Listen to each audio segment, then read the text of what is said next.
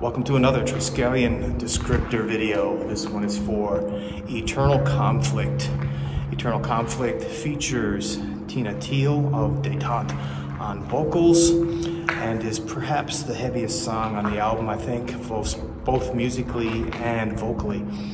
Um, the song is uh, kind of Slayer inspired, but it gets almost into the realms of death thrash, and it is also the uh, first full length music video from the album.